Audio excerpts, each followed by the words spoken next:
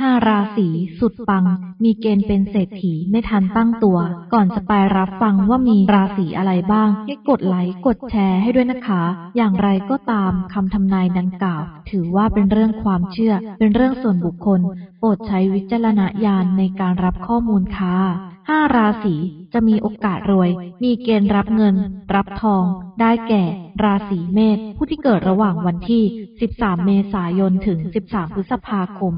ชาวราศีเมษนับว่าเป็นสัญญาณที่ดี ความรื่นเริงเบิกบานใจ โชคลาภเล็กๆ น้อยๆ และการได้พบปะเรื่องดีงามเป็นระยะ เพียงแต่ว่าก็จะหมายถึงเงินก้อนเล็กๆ ที่ทยอยมาตามวาระโอกาส ยังไม่ใช่เงินก้อนใหญ่สิ่งที่เด่นก็คือ หากคุณทำมาค้าขายธุรกิจส่วนตัว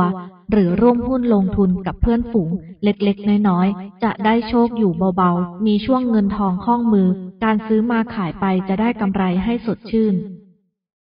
ราศีเมถุนผู้ที่เกิดระหว่างวันที่ 14 มิถุนายน ถึง 14 กรกฎาคม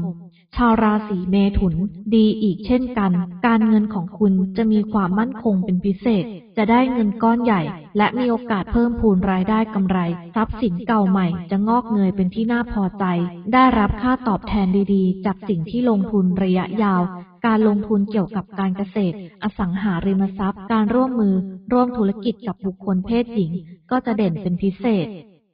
ราศีพิจิกผู้ที่เกิดระหว่างวันที่ 16 พฤศจิกายนถึง 15 ธันวาคม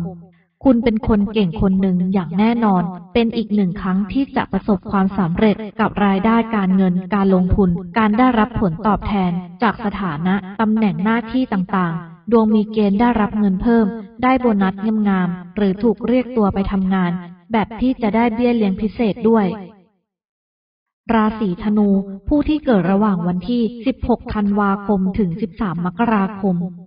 ชาวราศีสิงห์การเงินคุณดีมาก จะมีรายได้ใหม่ มาจากงานใหม่ หรืองานเก่าก็ได้และมักจะได้ใช้เงินกับการต่อยอดหน้าที่การงานต่างๆ ทำให้ทุกอย่างดำเนินไปอย่างราบรื่น จะมีงานพิเศษเงินพิเศษเข้ามาอีกเรื่อยๆ แต่งานที่ทำแล้วเครียดมากเกินไป พิจารณาสักหน่อยก็ได้ ไม่ต้องทำหมดทุกอย่าง ในบางคนจะได้ใช้เงินกับเครื่องมือ เครื่องใช้ มีของใหม่เข้าออฟฟิศสำนักงาน หรือใช้ในชีวิตส่วนตัว ได้ใช้ของที่ช่วยงานได้ดี มีประสิทธิภาพ ใครที่ไม่ได้เปลี่ยนมือถือ หรือคอมพิวเตอร์มานานจะได้เวลาก็หนนี้